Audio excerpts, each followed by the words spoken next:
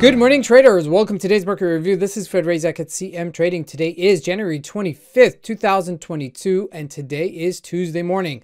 So, talk about the US markets tumbling further. VIX spikes, which is the Volatility index spiked higher. Now, no major economic event scheduled for today, but as we look at the various markets, the US dollar continues to strengthen as the Dow and the Nasdaqs continue to tumble, getting a little bit of a bounce yesterday, but still tumbling. Looking at commodities, gold and oil unchanged, and the stocks start to look like they're bouncing, and that might be a precept to the markets bouncing. And lastly, Bitcoin unchanged. Just to reiterate, for this Wednesday, we have FOMC rate statements, so that is an anticipation to that. So let's take a look at the markets and see what we can expect from today's trading.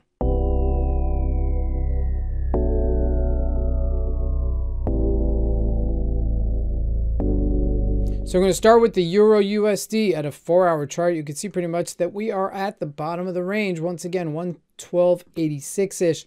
And this is perfect. Right before we go to the FOMC rate statement, this is coming into support ish level. Now, GBP also retracing here and consolidating at this 134.70 ish level. And Aussie US dollar also consolidated and then capitulated this morning with a little of a beef up on major news. So, with that said, the markets are uh, rotating at this stage after a whopping move on the downside. Now, first, looking at the commodities, gold unchanged, 1837, you know, 1840, just a few dollars away, and crude oil also pretty much at its same level at 84.42, just gaining a little bit. Now, looking at the major markets, this is what I'm talking about. We're trading at 34,160.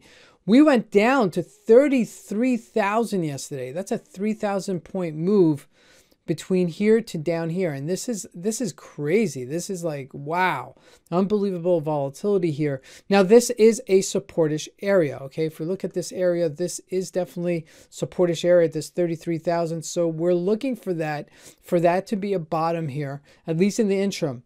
I would like to see it gain back into that 35,000 ish level. I mean we're we're about 3 2,000 points off.